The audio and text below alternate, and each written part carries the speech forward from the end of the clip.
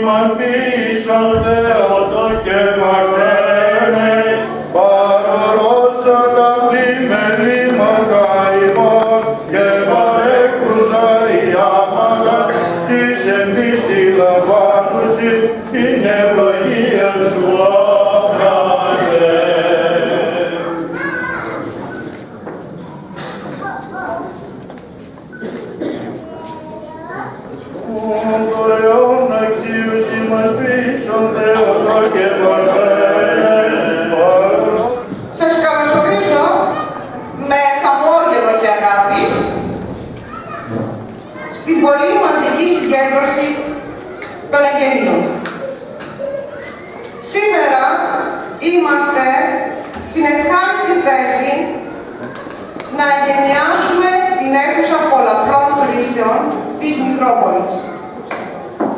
Έργο το οποίο υλοποιήθηκε από το ΕΣΠΑ 2007-2013 έως 2013.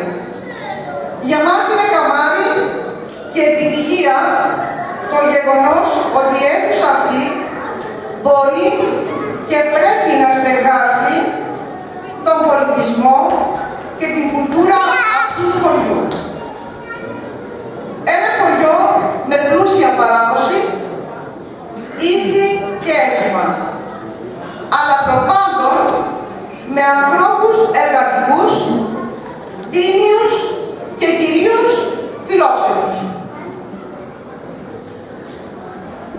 Καλό στο βήμα τον σεβαστό πρόσωπο του Μητροπολίτη για ένα χαιρετισμό τον Πάτερ Γιώργο. Έχοντας την τιμή να εκπροσωπώ τον σεβασμιότατο πιμενάτη μας Μητροπολίτη Συγνών και Νευροκοπίου κύριον Ιερόθεο, μεταφέρω προς όλους σας και κυρίως προς τους κοπιάσαντας για την υλοποίηση αυτού του μεγάλου πολιτιστικού κέντρου κατερμά συγχαρητήριά του και τις αρχιερατικές ευχές του. Είναι όντως παρήγορο το γεγονός ότι και σε ένα χωριό όχι στην έδρα μόνο του Δήμου, όπως συμβαίνει πανελλαδικά. Και σε ένα χωριό, με κόπο θα έλεγα, αλλά με πολύ μεράκι, υλοποιήθηκε ένα τέτοιο όμορφο έργο. Έργο το οποίο θα προσφέρει ήθος και πολιτισμό. Και θα μου επιτρέψετε να πω έναν χώρο το οποίο, ο οποίος μάλλον θα διασπιβάξει και θα προστατεύσει κυρίως την νεολαία μας από παράγοντες και στοιχεία τα οποία δεν θέλουμε να κυριαρχούν στη ζωή τους, αλλά που είναι ένας εξειδικευμένος χώρος εδώ να τα δημιουργήσει και να τα εμπνεύσει προς τον πολιτισμό και τα ιδανικά εκείνα τα οποία έχουν ανάγκη όσο ποτέ άλλοτε σήμερα οι νέοι μας. Κύριε Δήμαρχε, θα μου επιτρέψετε να εκφράσω προσωπικά σε εσάς εκ των προτέρων της ευχαριστίας του Σεβασμιωτάτου Μητροπολίτη μας κυρίου Ιεροθέου και να ανακοινώσω με την έναρξη των εγγενείων εδώ αυτής της αίθουσας την ευγενική σας πρόσκληση να φιλοξενήσετε εδώ σε αυτόν τον χώρο το ετήσιο συνέδριο του αντιερετικό που διοργανώνει η Ιερά Μητρόπολης Ζυγνών και Νευροκοπίου, γεγονός το οποίο με τα χαράς απεδέχθη ο Σεβασμιότατος Μητροπολίτης μας και με ικανοποίηση και περιμένουμε να έρθει η 23η Φεβρουαρίου του 2016 όπου θα φιλοξενηθεί εδώ σε αυτόν τον χώρο αυτό το συνέδριο της Ιεράς Μητροπολέως μας. Τελειώνοντας, μεταφέρω τις ευχές του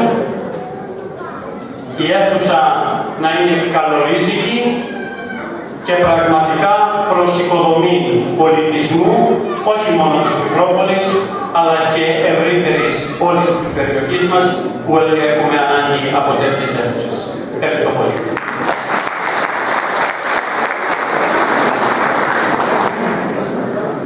Καλό στο βήμα για χαιρετισμό στον Περιφερειάρχη κ. Πατακάκη.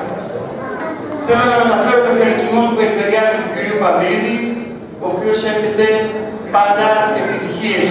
Μια προσπάθεια η οποία ξεκίνησε η προηγούμενη Περιφερειακή Αρχή και ολοκληρώνεται σήμερα από τη δική μας Περιφερειακή Αρχή.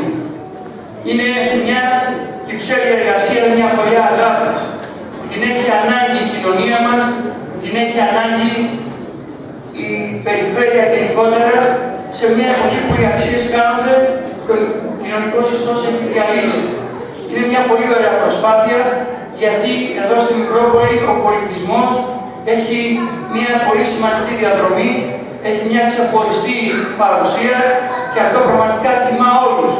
Γιατί σε αυτούς τους δύσκολους καιρούς κάποια πράγματα παίζουν καθοριστικό ρόλο στη ζωή μας, παίζουν καθοριστικό ρόλο στον πολιτισμό μας, στα ήθη και τα έθιμα.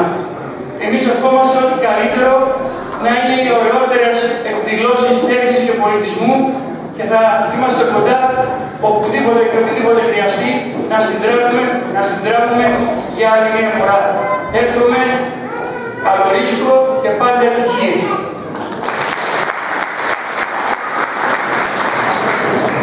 Καλό στο βήμα τον ε, κύριο Δήμαρχο για ένα χαιρετισμό. Κανονικά, τις μέρες των εγγενείων δεν πρέπει να μιλάμε. Πρέπει να μιλάνε τα ίδια τα έργα. Αλλά είναι μια συνήθεια των πολιτικών που έρχεται από τα παλιά χρόνια που πρέπει να πάρουν λίγη δόξα. Όλοι μας. Εμείς δεν θέλουμε δόξα. Εμείς θέλουμε να χαρείτε αυτό το κτίριο. Ένα κτίριο το οποίο λιδωρήθηκε όταν ανακοινώθηκε. Ένα κτίριο το οποίο είπαν κακώς γίνεται. Ένα κτίριο το οποίο όμως σήμερα παραδίδεται πρωτίστως στην κοινωνία της Μικρόπολης, όμως και στην κοινωνία του Δήμου Προσοτσάνης και της Περιφερειακής Ενότητας Δράμας. Ένα κτίριο το οποίο θα σηματοδοτήσει την ανάπτυξη του Μενικίου Όρους. Θα είναι το κέντρο αυτής της ανάπτυξης. Πριν λίγες μέρες ολοκληρώσαμε ένα εξοραϊστικό έργο στην Καλυμπρίση. Συνέχεια έρχεται αυτή η αίθουσα. Ακολουθούν άλλα έργα στο Μενίκιο Όρος που θέλουμε να είναι ένας πνεύμονας ανάπτυξης της περιοχής μας. Και θα γίνει. Παραδίδουμε αυτό το έργο στην νεολαία και στους κατοίκους πρωτίστως της Μητρόπολης. Σε εσάς. Εσείς θα αποδείξετε ότι αυτό το έργο ήταν απαραίτητο. Εδώ θέλουμε να γίνει μια κυψέλη δουλειάς. Μια κυψέλη παραγωγής πολιτισμού. Ο Δήμος Προσοζάκης λοιπόν υλοποίησε με το έσπα της προηγούμενης δεκαετίας αυτό το έργο με συμπαραστάτη την προηγούμενη περιφερειακή και τη σημερινή περιφερειακή αρχή. Θα πρέπει να μνημονεύσω το όνομα του πρώην Περιφερειάρχη του κ. Γιανακίδη μαζί με το όνομα του σημερινού Περιφερειάρχη και Αντιπεριφερειάρχη κ. Πατακάκη. Μέσα σε αυτούς που πολέμησαν όμως δυναμικά για αυτό το έργο ήταν και ο δικός σας. Ο Δημοτικός Σύμβουλος, ο σημερινός Αντιδήμαρχος, ο Κώστας ο Μιχαηλίδης. Η προσπάθεια μου ήταν σημαντική. Εγώ κλείνω τον χαιρετισμό μου λέγοντας και πάλι ότι αυτό το έργο, κυρία Πρόεδρε, δι' εσάς είναι δικός σας. Χαρείτε το, παράξτε έργο. Και κατά παρέκκληση, κυρία Πρόεδρε, θα παρακαλούσα ο κύριος Μιχαηλίδης να έρθει να πει πιο κουβέντες. Σας ευχαριστώ.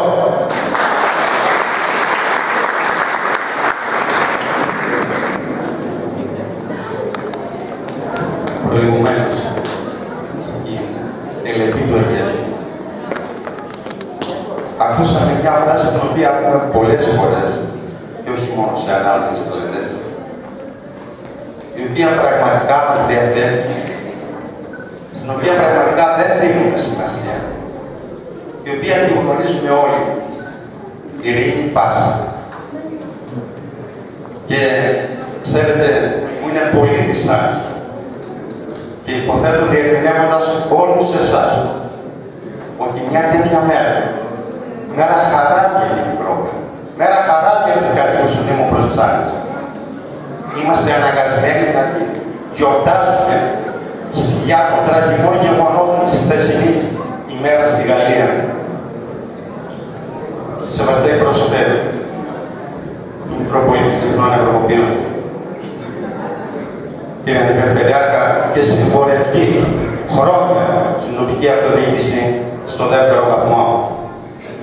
Κύριε Δήμαρχε, κύριε Αρχηγή της Μίζωνος και της Ελλάσσονος Αντιπολίτευσης, τοπική σύμβουλη, δημοτική σύμβουλη, επιτρέψτε μου τη συγκίνηση και αν δεν τηρώνται ευλάβεια το πρωτόκολλο, συνάδελφοι του πρώτου και του δεύτερου βαθμού, κυρίες και κύριοι, πραγματικά δικαιούται ο καθένας να έχει μια συγκίνηση πέρα από μια ψυχρή αντιμετώπιση γεγονότων τα οποία τον σημάδισαν όλα αυτά τα χρόνια.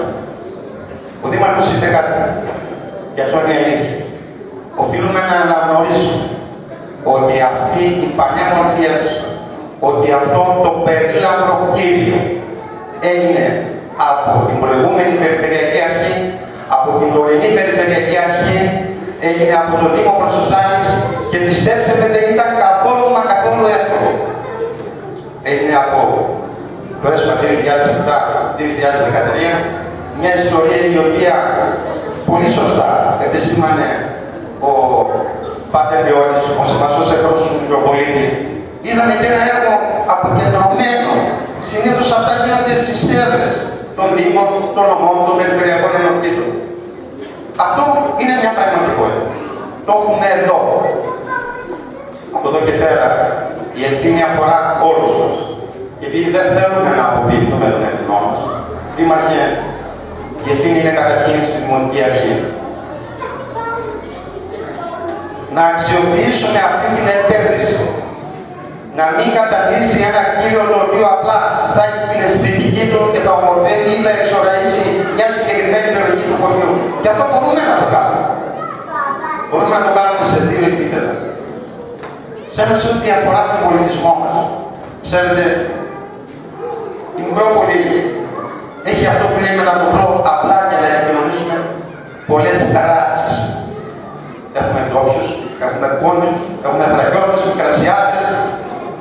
Είμαστε δηλαδή μια παστερνία κουλτούρας, τις οποίες μπορούμε να συνδέσουμε, τις οποίες μπορούμε να αναδείξουμε και μέσα από αυτή την ανάπτυξη να αναδείξουμε το χωριό.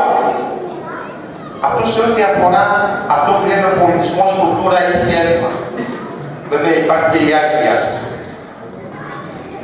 Το ότι είναι εκεί και, τις προηγούμενες, και των προηγούμενων διοικήσεων του Δήμου και των προηγούμενων διοικήσεων του δεύτερου βαθμού το μενίδιο ως ευλογημένο όρος, ως όρος, ως οροσυρά με συγκριτικά πλεονεκτήματα να γίνει μια μόνος ανάπτυξη. Και λέω πολλές φορές ότι η Μικρόπολη και δεν είναι καθόλου ούτε λαϊκισμός ούτε τοπικισμός η Μικρόπολη μπορεί να παίξει το ρόλο της πύλης του Μενιδίου με ό,τι σημαίνει αυτό. Δηλαδή, παρεμβάσει αναπτυξιακού παραγγείλα, που δεν είναι κατά ανάγκη υποδομές. Είναι η προσφορά υπηρεσιών, είναι η αξιοποίηση, είναι η κοινοτροφία. Είναι μία σειρά από δράσεις και παρεμβάσεις που έχουν να κάνουν με το μενίδιο. Και πιστέψτε με, μπορούμε να τα κάνουμε. Γι' αυτό είπα ότι δεν αποποιούμαστε τον εθνό μας. Βασικός κέντρος σε δημοτική αρχή είναι η περιφέρεια. Μπορούμε λοιπόν να χρησιμοποιήσουμε ως εργαλείο αυτού των δράσεων των παρεμβάσεων αυτή την πανέμορφη αίθουσα, αυτό το εξαιρετικά να προχωρείτε. Και άκουσα, δεν είναι τιμωμένο από κάποιον ότι αυτό το κτίριο δεν είναι μόνο συγκρότηση. Έτσι, αυτό το κτίριο είναι το Δήμο Προσάκη. Κλείνω συγκεκριμένος πραγματικά για την αφρό μαζική, θα έλεγα σύσσωμη παρουσία του κόσμου της Μικρόπολης και όχι μόνο. Σας ευχαριστώ. Καλό και να το κάνουμε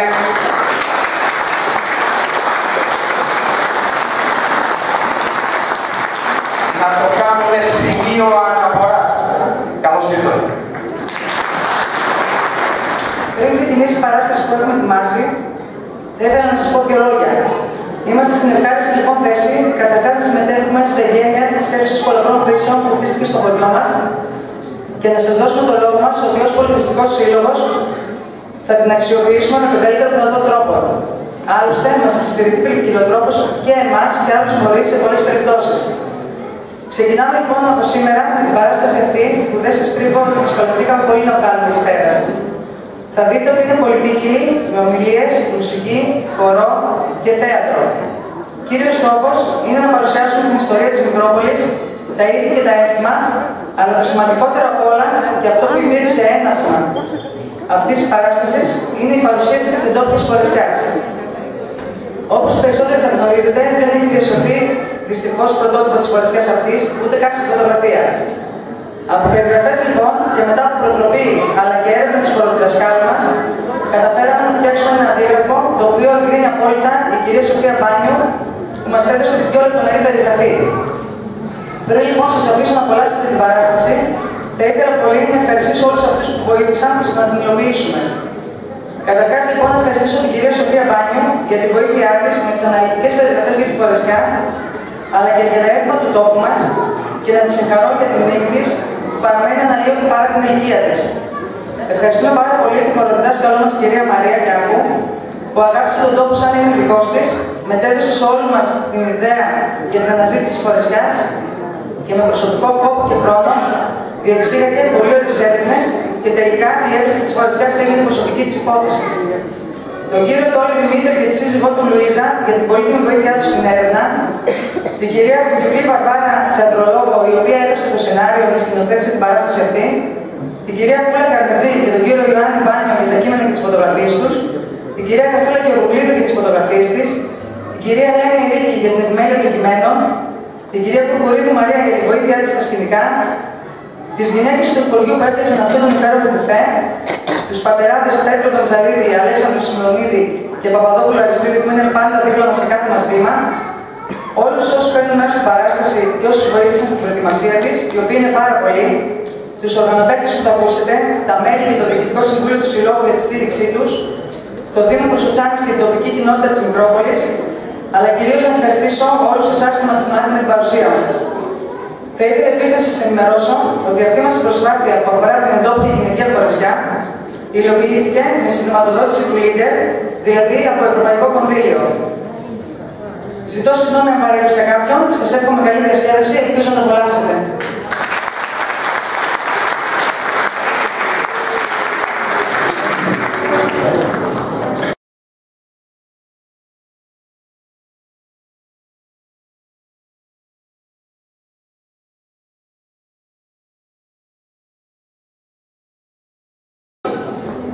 Η Μικρόπολη, χτισμένη στις παρυφές του όρους Μενικίου, βρίσκεται 30 χιλιόμετρα νοτιοδυτικά της Δράμας. Σήμερα έχει 800 κατοίκους, περίπου, οι οποίοι είναι κυρίως ντόπιοι, θρακιώτες από το Τάκιοι και πόντι.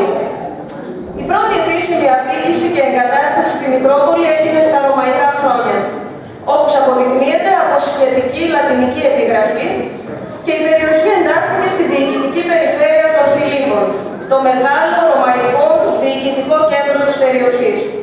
Η επιγραφή βρέθηκε πάνω σε σαρκοφάγο που τώρα βρίσκεται πίσω από την κοινότητα. Η πρώτη ονομασία του χωριού ήταν Κιουτσούκ Σταμπούλ. Η λέξη είναι τουρκική και σημαίνει μικρή Κωνσταντινούπολη. Μήπως θύμιζε την φιλική βασιλεύουσα του Βυζαντίου; Στη γεωφυσική της δομή ξεχωρίζουν γύρω της 7 λόφους, όπως και στην δοξασμένη επτάλοφο. Στον πρώτο λόφο του Αγιώργη είναι χτισμένο το φερόνιμο παρεκκλήσι και γίνονται οι εκδηλώσεις της γιορτής του Θεού. Στο διπλανό από αριστερά, των Αγίων Κωνσταντίνου και Ελένης. Στο τρίτο, δεσπόζει ο ναός των Αγίων Αναγκύρων, πολιούχων της Μικρόπολης. Στον τέταρτο, της Αγίας Μαρίνας. Στον επόμενο λόφο, που λέγεται Κελή Τούμπα, δηλαδή τσιμπουρόλοφος, επειδή άφηναν τα πρόβατα τσιμπούρια, είναι χτισμένο το παρεκκλήσι του Αγίου Παντελεήμωνα. Στον έκτο λόφο, του Αρχάγγελου Μιχαήλ. Στον έβδομο λόφο, κλείνοντας τον κύκλο, είναι χτισμένο το παρεκκλήσι της Αγίας Τριάδας. Πρέπει να αναφέρουμε ότι η Τουτσούκ Σταμπούλ θύμιζε την Κωνσταντινούπολη στην ομορφιά, γιατί και οι δύο ήταν πολύ όμορφες πόλεις, αλλά και στο μέγεθος, γιατί και οι δύο ήταν μεγάλες.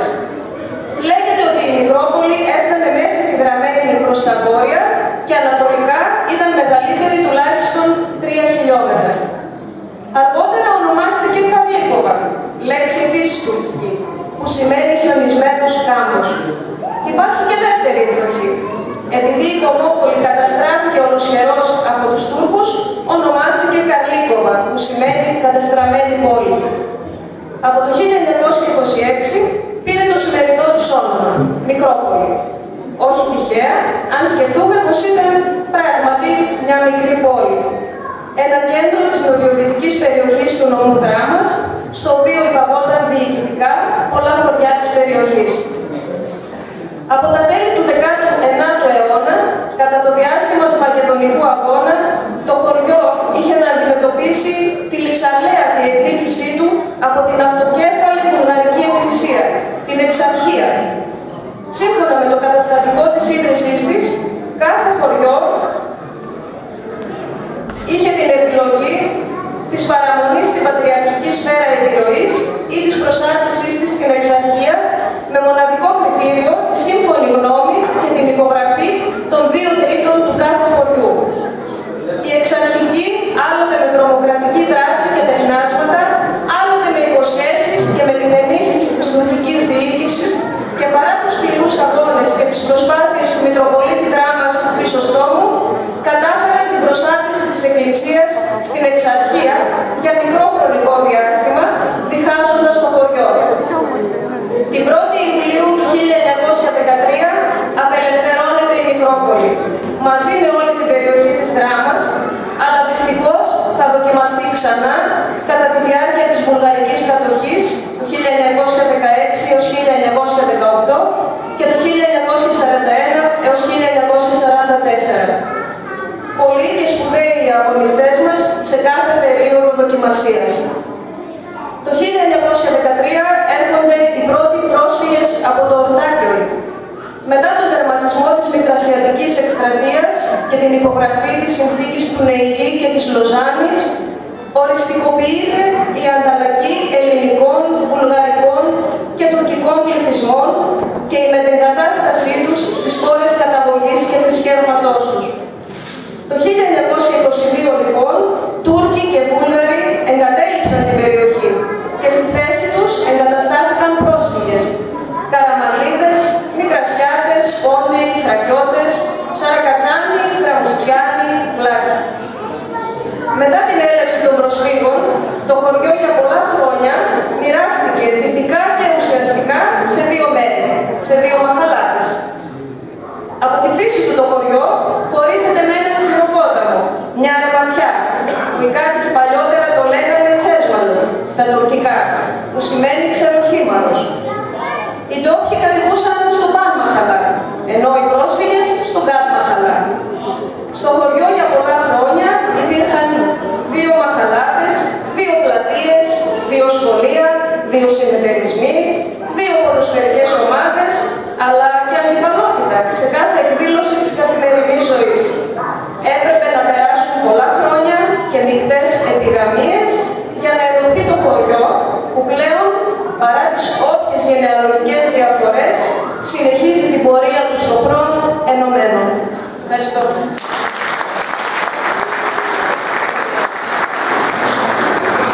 Πολλοί στηρίζονται ότι η Μικρόπολη δεν είχε δική της παράδοση και κάτι αίτημα δικό της πολιτισμό.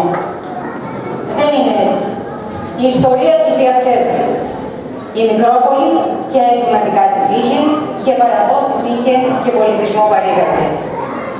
Κάθε φυλή, κάθε ράτσα στο χωριό είχε και τα δικά της έτοιμα. Οι ντόπιοι, αυτά που βρήκαν από τους παππούδες και τους προπάπους τους, ριζωμένα βαθιά όπως το κόμμα, οι πέτρες, οι ρίζες του πλάτανου και της φλαμβουλιάς, τα κλάτησαν, τα κράτησαν και τα συνέχισαν. Οι πρόσφυγες, είτε πόντιοι, είτε θρακιώτες, είτε ορτακινοί και καραμαλίδες, μικρασιάτες, πλάτους και σαρακαταναίοι, που μάλισαν μαζί τους στις μνήμες, στις καρδιές και στις συνειδήσεις τους πολύτιμη κληρονομιά τα πατροπαράδοτα ήθη και έθιμα των προγόνων τους και προσπάθησαν σε αυτόν τον καινούργιο τόπο που έμενε να γίνει η πατρίδα τους να τα αναβιώσουν, να τα φυτέψουν για να βγάλουν και αυτά ρίζες βαθιές και να ενωθούν με τις ρίζες και τα κλαδιά του πλάτανου, να περάσουν στους απογόνους και να μην χαθούν. Μόνο που πολλά από αυτά χάθηκαν δυστυχώς στο διάβολο του χρόνου. Χάθηκαν στον δρόμο της ξενικιάς.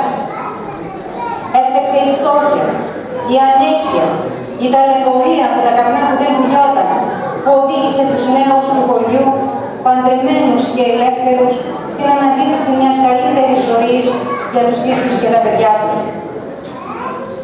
Χάθηκαν πολλά έθιμα στον δρόμο για την Αθήνα και τη Θεσσαλονίκη. Χάθηκαν στα τρένα για της Γερμανία. Στα καράβια που μετέφεραν κουβαλώντας μαζί τους τα έθιμα και τις παραδόσεις. Μακριά από τις αιστείες τους. Με αυτό το καράβι έμεινε η μάνα μου στη Γερμανία, όπως και πολλές γυναίκες από εδώ από το χωριό. Έφυγαν πάλι περισσότεροι κουβαλώντας μαζί τους τα έθιμα και τις παραδόσεις τους και τα έθαψαν στις φάμπρικες της Γερμανίας.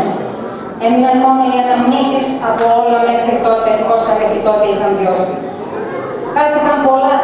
Τότε στο χωριό μείναμε μόνο γέροι και παιδιά. Μόνο παππούδες, γιαγιάδες και εγγόνια μικρά. Ποιος θα τα συνέχιζε; Το καρναβάλι του Αγιανού και η γιορτή της Πάπους, το Βάτιτε, ήταν δύο έτοιμα από αυτά που χάθηκαν.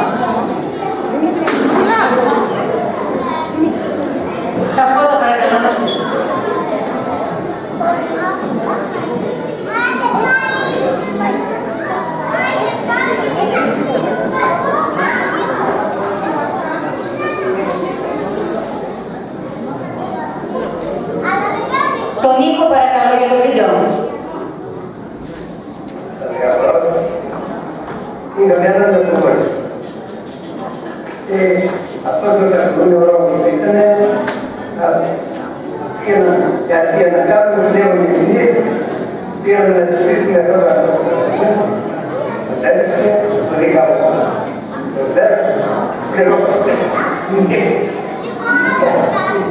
και το πατέρας, και πάντα τους ανθρώπους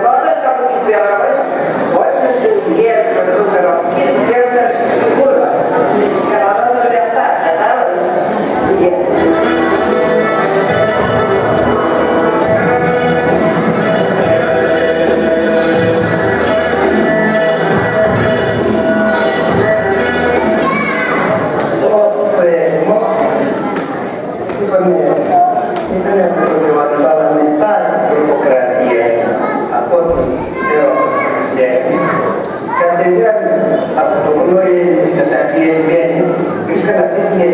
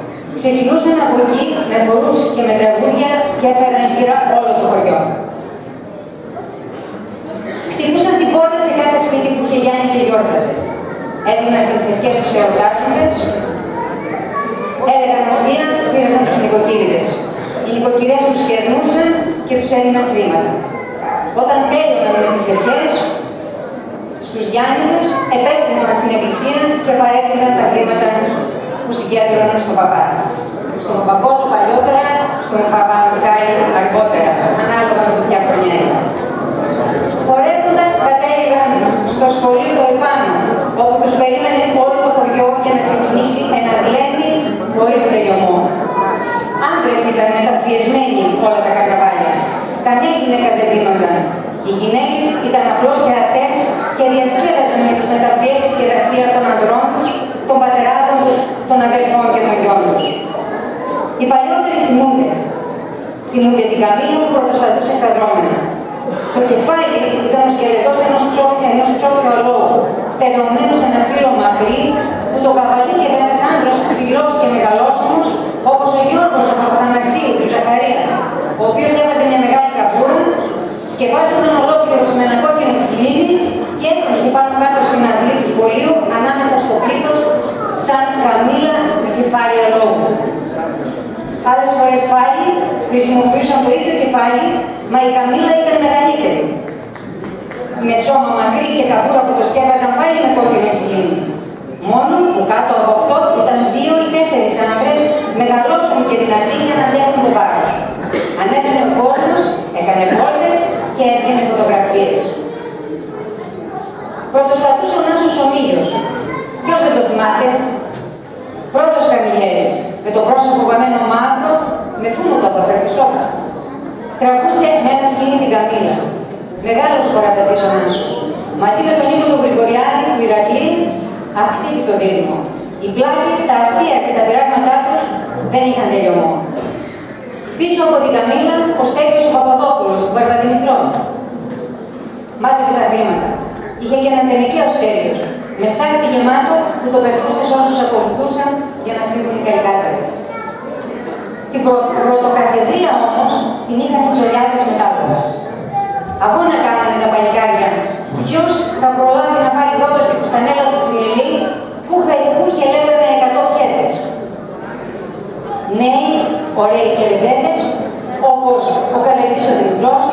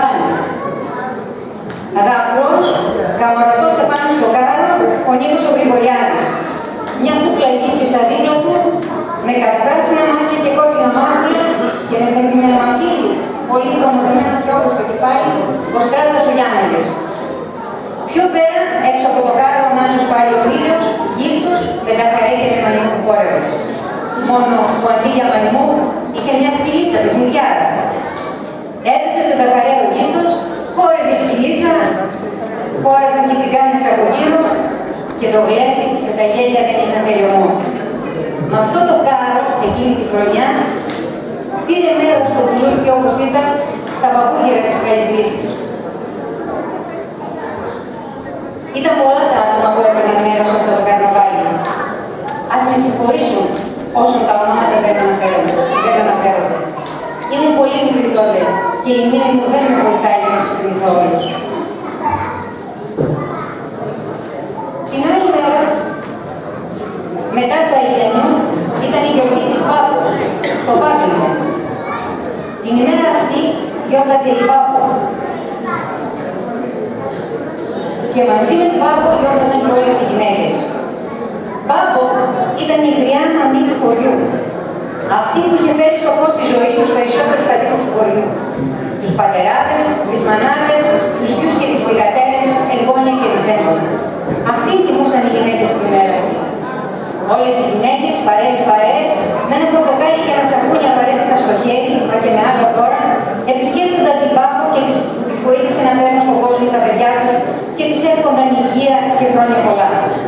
Άλλες επισκέπτονταν τη Θεία Μαρία του Βογιατζή και άλλες τη Θεία Σταυρίτσα του Σκορπιά, τη Βογιατζίδα και τη Σκορπάτα. Πολύ παλιότερα πριν από αυτές, επισκέπτονταν την Προγενιά, την Άσκενα, που ήταν η δασκάλα τους και της έμαθε την πέμπτη της μαμής. Η Πάπο τους περίμενε στην πόρτα με μια γυάλινη κανάτα γεμάτη νερό. Εκείνη στην πόρτα της έπινε νερό με την κανάτα και έπαιρναν οι γυναίκες στα χέρια τους με το σαπούνι που έφεραν και το άφηναν στη μαμή, γιατί το σαπούνι ήταν πολύτιμο και ήταν απαραίτητο για την καθαριότητα στις γέννες. Να είναι εύκολες οι γέννες τους, σαν το νερό που τρέχει, έφταναν η μαμή. Τις γερνούσαν μετά από δικά φαγητά που η ίδια είχε ετοιμάσει. Οι γυναίκες γερνούσαν και κουτσομπόλευαν. Θυμόντουσαν τις γέννες τους. Πόσο εύκολες και πόσο δύσκολες ήταν. Πώς αντέδρασαν οι άντρες τους όταν είχαν αγόρι ή όταν είχαν κορίτσι. Τι είπαν οι μεκτερές τους και πόσο στη γέννη ήταν πονέσει. Μετά το εστίνα στο χορό της στο τραγούδι στη Σάλα ή στην αυλή της Πάπος. Μέχρι αργά το βράδυ χόρευαν και τραγουδούσαν μόνες, χωρίς τους άντρες τους. Γιατί αυτή η μέρα ήταν δική τους, όπως και η εικόνη της κάθε γένας ήταν αποκλειστικά δική τους. Πολλά τα έθιμα της Μητρόπολης. Κάθε μεγάλη θρησκευτική γιορτή και σημαντικές κοινωνικές εκδηλώσεις, όπως αραβώνες, γάμοι, βαπτίσεις, συνοδεύονται από τα ανάλογα έργα. Έτσι, έχουμε τα έθιμα των Χριστουγέννων, της Πρωτοχρονιάς και των Φώτων, της Αποπλάνς, του Λαζάρου, τα έθιμα του Πάσχα, την ημέρα του Θεού, του Αγίου Γεωργίου, το πανηγύρι των Αγίων Αναργύρων. Στα έθιμα των Χριστουγέννων, της Πρωτοχρονιάς και των Φώτων, ξεχωριστό έθιμο και με μεγάλη κατάληξη είναι η Καλύλα, δηλαδή το κάπνισμα ή το θυμιάτισμα. Το βράδυ της παραμονής και των τριών γιορτών, όλη η οικογένεια μαζεύονταν γύρω από το τραπέζι και ο μεγαλύτερος της οικογένειας, ο παππούς ή ο πατέρας, θυμιάτισε από το τραπέζι και τα μέλη της οικογένειας, δίνοντας τις κατάλληλες ευχές. Το νόμισμα την παραμονή της πρωτοχρονιάς δεν έδαινε στη βασιλότητα, αλλά σε μικρά σωμάτια στο μέγεθος καρδιού που είχε ψήσει η μάνα τόσα όσο και τα μέλη της οικογένειας. Τα βουτούσε ο πατέρας σε κόκκινο κρασί και τα βάζε στο στόμα του καθενός. Κάπνιζαν επίσης όλο το σπίτι, τις αυλές, τους τάφους και τα ζωντανά για υγεία και ευημερία. Τις απόκριες. Εκτός από το καρναβάλι, είχαμε και τις τριάρες και το συγχώριο. Στριάνοι και τη χάτσα. Στριάνες ήταν οι μεγάλες φωτιές από χώινες που άστραφαν και κατηγορούσαν τις πλαγιές γύρω από το χωριό, δημιουργώντας ένα εξωπραγματικό θέαμα. Το ίδιο βράδυ, αργά πια, είχαμε το συγχώριο και τη χάτσα. Όλη η οικογένεια, παιδιά, νύχτες, εγγόνια και δισέγγωνα, μαζεύονταν στο σπίτι του παππού, ζητούσαν συγχώρεση ο ένας από τον άλλο, γιατί δεν έπρεπε να τους βρει η συγχή σαρακοστή μαλωμένους και θυμωμένους, φιλούσαν το χέρι του παππού, δίνοντάς του ένα πορτοκάλι, έπαιρναν και ακολουθούσε η χάτσκα με πολύ γέλιο για παιδιά και μεγάλους. Μαζεύονταν όλα τα παιδιά ένα γύρω και στη μέση ο παππούς με την τσουτίκα, το ξύλο που ανοίγουν φίλο. Στην άκρη του είχε κρεβασμένο ένα σπάνο με ένα κομμάτι ξερό καλβά και κουνούσε πέρα από Τα παιδιά με τα χέρια δεμένα πίσω προωθούσαν και προσπαθούσαν με το στόμα να κάψουν το καλβά. Φωνές, πασαλήματα και γέλια πολλά. Η καλύτερη ώρα για μας τα παιδιά. Η βραδιά τελείωνε με ένα αυγό κραστό για τον καθένα και βράση γιαγιά. Με αυγό έκλεινε το στόμα της Αρακοστή, με αυγό θα άνοιγε το βράδυ της Ανάστασης. Η παραμονή του Λασάρου ήταν η χαρά των κοριτσιών, που ντυμένες πολύχρωμες λαζαρίνες τραγουδούσαν τα κάλπα του Λαζάρου και χόρευαν στις αυλές των σπιτιών μαζεύοντας αυγάκια ήλιο στα καλατάκια τους για τα τζουρέλια. Μπορεί τις λαζαρίνες να μην τις προλάβαμε οι περισσότερες. Περισσότερες όμως από εμάς ακούσαμε τις μάνες του μας να μας λένε «Πού γυρνούσες Μαριλούγκουρα σαν λαζαρίνα» Ακολουθούσε το Πάσχα με τις παραδόσεις της Μεγάλης Εβδομάδας, με μεγάλη κατάληξη με το ξενύχτισμα του Χριστού από τις γυναίκες στην Εκκλησία, όπου πηγαίναμε τη Μεγάλη Πέμπτη με κουδέντες και μαξιλάρια και κοιμόμασταν κατάφαμα στην Εκκλησία χειρότερο σταυρωμένο. Το ίδιο βράδυ γινόταν επιδρομή κυριολεκτικά στις αυλές και τους κήπους των σκουπιών και ρημάζαμε τα λουλούδια τα οποία μαζεύαμε για τον Ιφτά. Μετά το Πάσχα ακολουθούσε η μεγάλη και μοναδική για τα ελληνικά δρόμενα διορτή του Θεού. Η Μικρόπολη ήταν και το μοναδικό χωριό που έγινε μια μέρα αφιερωμένη αποκλειστικά στο Θεό. Η γιορτή έχει τις ρίζες της στην τουρκοκρατία, χρονολογείται από το 1850 και διακρίνεται αναλύωτη μέχρι και σήμερα με μικρές αλλαγές, κυρίως στον τρόπο παρασκευής του κρέατος και την αλλαγή της ημέρας του εορτασμού από πέμπτη που ήταν αφιερωμένη σε Σάββατο. Έχουν υποθεί πολλά για την και έχει αναλυθεί πάρα πολύ αυτό το έθιμο, γι' αυτό δεν θα το περισσότερο. Την ημέρα του Αγίου Γεωργίου, εκτός από το εορταστικό τελειτουργικό πάνω στο εξοπλίσι, είχαμε το έθιμο με το μουλουχτό νερό, κάτι ανάλογο με το κλειδόν και το ζήτημα των κοριτσιών. Τέλος, των Αγίων Αναργύρων, είχαμε και έχουμε το μεγάλο πανηγύρι που κρατούσε και κρατά τρεις μέρες. Με πολλές εκδηλώσεις και πολύ γλένη.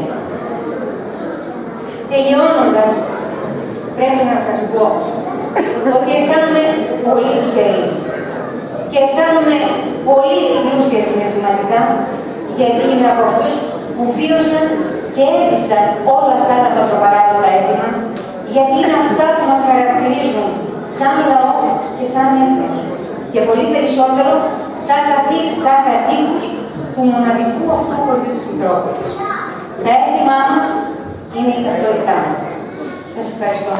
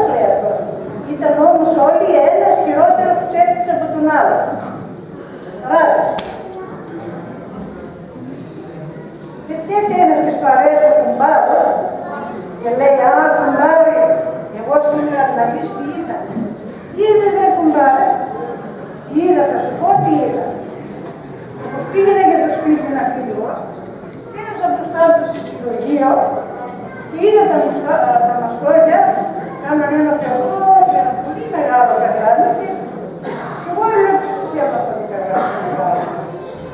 Λέει ο κουμπάρος, α, κουμπάρι, αυτό είναι απίστευτο, τόσο μεγάλο καζάνι. Τι το ήθελαν αυτοί οι άνθρωποι. Τι θα έβαζαν μέσα σε αυτό το καζάνι; Ο κουμπάρος τι θα έβαζαν στο καζάνι μέσα. Άβαζαν να βράσουν το δικό σου το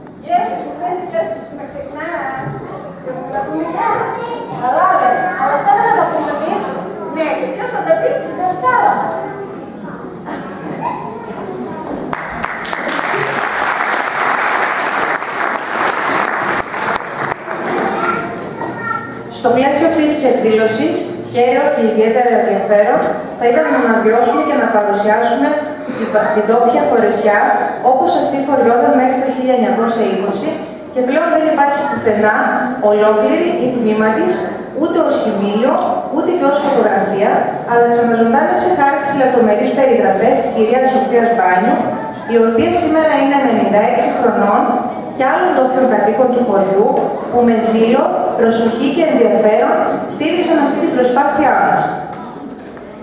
Η απόδοση της φορεσιάς λοιπόν έγινε από μνήμης με την καθοδήγηση βιοτεχνίας παραδοσιακών τοπικών ενδυμασιών και το αποτέλεσμα είναι μπροστά μας.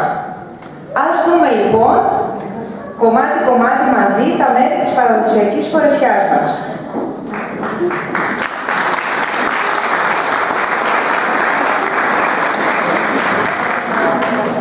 Πρώτο και βασικό κομμάτι της φορεσιάς είναι το πουκάμισο, δηλαδή ένα άσπρο μακρύ φόρεμα που φοριόταν κατάστατα από παπαγερό υφαντό ύφασμα. Στο κάτω μέρος, στα μανίκια και στο λαιμό, τοποθετούσαν πλεκτή άσπρη δαντέλα. Κάλτσες. Στα πόδια φορούσαν λευκά μάλινα τσουράπια, πλεγμένα στο χέρι, στον αστράγαλο, η ρόκα, το πιο συνηθισμένο μοτίβο κλεγμένο με πολύχρωμες κλωστές. Στη συνέχεια φορούσαν το εντερί, ένα μακρύ φόρεμα, πιο κοντό από το κάμισο, με μακρύ μανίκι σε διάφορα χρώματα, όπως μπορντό, γκρι μολυβί, πράσινο ή μπλε. Τοποθετούσαν δύο με τρεις σειρές μαύρο γαϊτάνι στο μπροστινό μέρος μέχρι κάτω.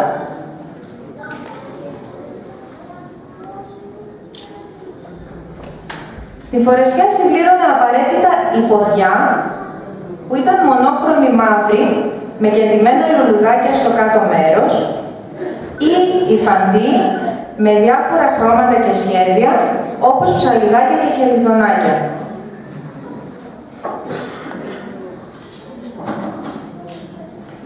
Κοσμούσαν τη φορεσιά με ασημένια κόρπη ή αλλιώς παυτάς που φοριόταν ως ζώνη. Η ζώνη είναι από μαύρη τσόχα και μπροστά η εντυπωσιακή πόρπη ή παυτάς από ασήμι.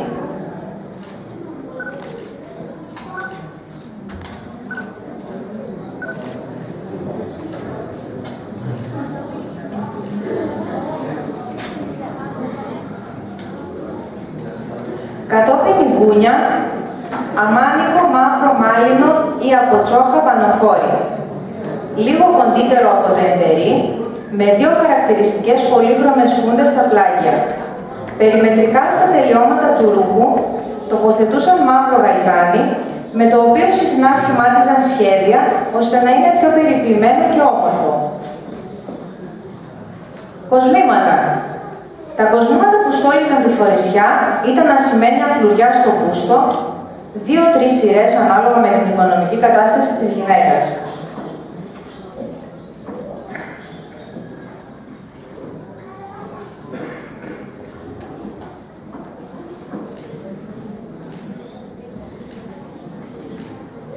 Και ο κοπτσάς, μία αγράφα που την τοποθετούσαν στο λαιμό με αλυσίδες που κατέληγαν στη μέση διαγώνια. Κεφαλόδεσμος. Και ολοκληρώνουμε την φορεσιά με το τσεμπέρι ή σεμί στο κεφάλι που ήταν σε διάφορα χρώματα, μονόχρωμο ή με λουλούδια, με κρόσια στο τελείωμα δεμένο περίπτευμα. Το διπλώνανε τριγωνικά, το περνούσαν χιαστή μπροστά από το λαιμό και κατέληγε να δένει πίσω.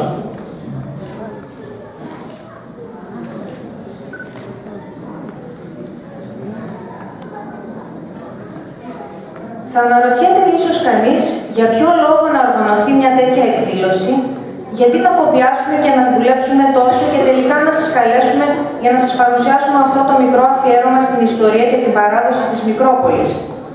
Γιατί να μην μιλήσουμε για σύγχρονα, φρέσκα θέματα, γιατί να μην δείξουμε τις τελευταίες ανακαλύψεις του ανθρώπου. Γιατί να περιγράφουμε τα έθιμα, γιατί να φτιάξουμε φορεσιά, γιατί να μιλάμε για ιστορίες ξεχασμένες.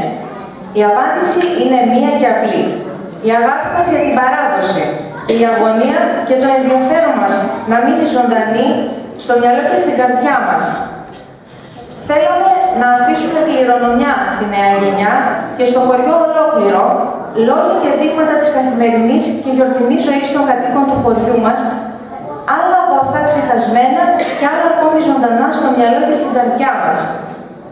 Γιατί πιστεύουμε ότι η ζωντανή μένει παράδοση μόνο όταν τη μοιραζόμαστε με αγάπη, την βιώνουμε και την κληροδοτούμε.